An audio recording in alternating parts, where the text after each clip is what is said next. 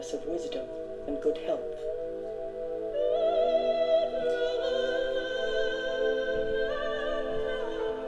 Ancient myths describe it as a place of prophecy.